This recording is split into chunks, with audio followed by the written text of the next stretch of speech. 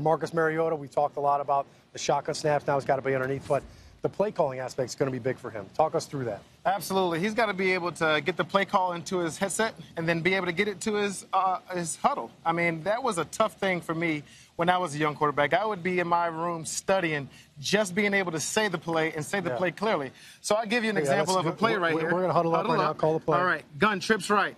Y return, two jet, F option, check, 13 blunt. Gotcha. Now, I gave you two plays there. I gave yeah. you a pass play and a run play. This is why a lot of rookies have a hard time playing fast because they're thinking about their own plays so much. Yeah, you got to think about both plays and what the defense is doing. I love it. All right, we're going to go shotgun here. We're going to just do the All pass right. play here. I'm not going to go through the check. Another thing is the cadence. He's not said the cadence before. So I'm going to give you an example of a cadence. Down, green 80,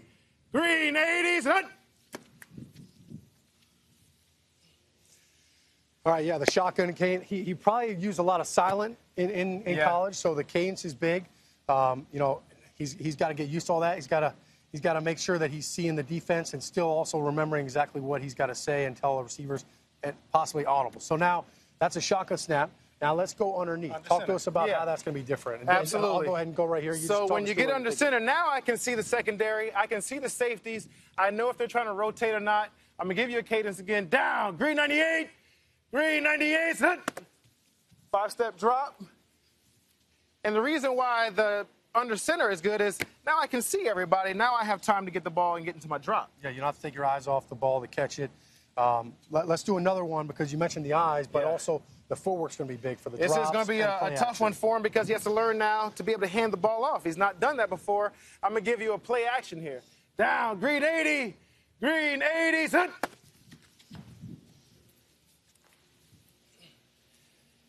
All right, good stuff.